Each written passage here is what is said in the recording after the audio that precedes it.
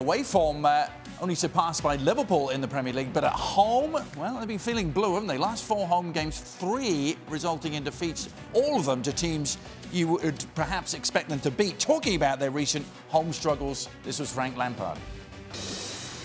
But we need to take our chances in home games.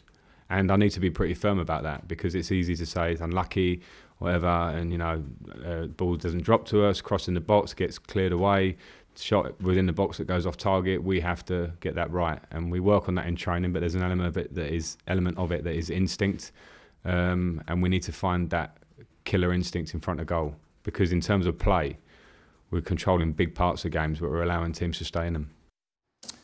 It is a peculiar one, Craig. Haven't lost three in a row at home in the, in the top flight in England since, well, you might remember it, 1994.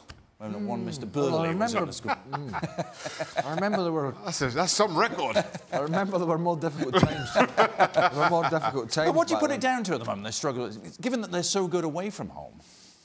Yeah, I think in some sense what he said there is correct. They've, they've created lots of chances, and mm. but they haven't always taken them and they've allowed teams to get back into the games. Uh, they haven't killed teams off. Uh, they've got a lack of options and had a lack of options in that area. They are where they are in the league. I think they are where they're expected to be, there or thereabouts. In many sense, they've been ahead of the curve with the problems that they had, the squad that they had, and the transfer ban and a, an inexperienced manager. They've, they're actually been okay. And I think he's just frustrated that they could have been in a better position. Uh, they might go out in January and mm. spend some money now that the, the ban is lifted, but as he said himself, you can't feel sorry for yourself. You've got to kill teams off. He's chopped and changed between a back three and a back four of late. The Arsenal game wasn't working for him. He made a change quite early on. Uh, so he's not been frightened to make big decisions. And but but that'll be the key between him getting in the, the top four or not. There's talk about Giroud going and maybe mm. one or two others. So it's a big January for him in terms of how the squad looks come the end of the month and the end of the transfer window. Robert, what do you make of their home struggles at Stamford Bridge?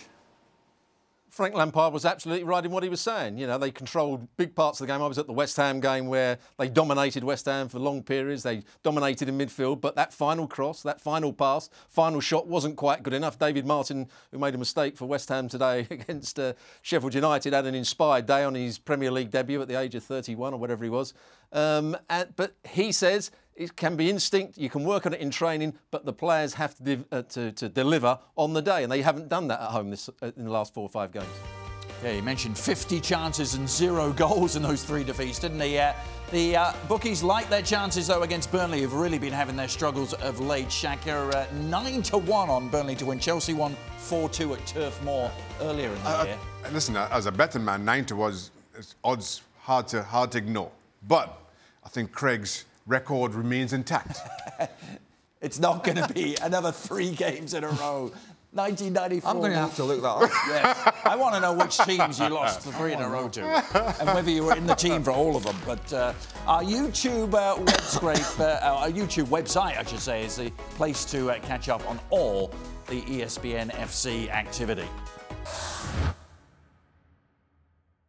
Thanks so much for watching ESPN on YouTube. And for more sports highlights and analysis, be sure to download the ESPN app. And for premium content and live streaming, subscribe to ESPN Plus.